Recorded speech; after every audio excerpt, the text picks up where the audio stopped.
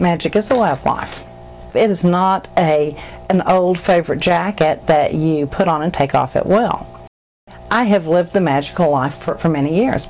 When, when you live the magical life, everything becomes magical. You drive down the road, you see the mica sparkle in the pavement. You flush the toilet. Ever think about which way the water twirls? You're on a shirt. You're ironing out problems. You know, sometimes even balancing that checkbook can be magical. So everything you do, be, you know, becomes magical. I don't think there is anything mystical about magic.